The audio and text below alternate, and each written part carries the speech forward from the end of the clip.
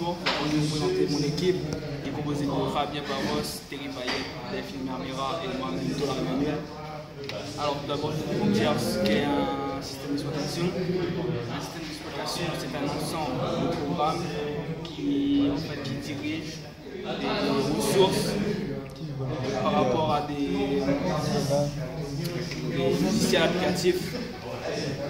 Alors les systèmes d'exploitation classiques du client ont besoin de plus de puissance au niveau graphique. Ensuite, euh, il y aura les, serveurs, systèmes d'exploitation du serveur qui utiliseront plus de mémoire, de stockage. Et a les systèmes d'exploitation serveur qui auront besoin de plus de mémoire de stockage pour pouvoir stocker différentes informations.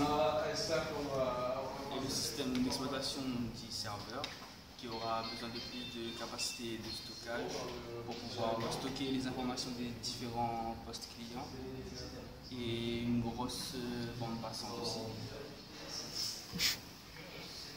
Alors merci de votre attention et à la prochaine.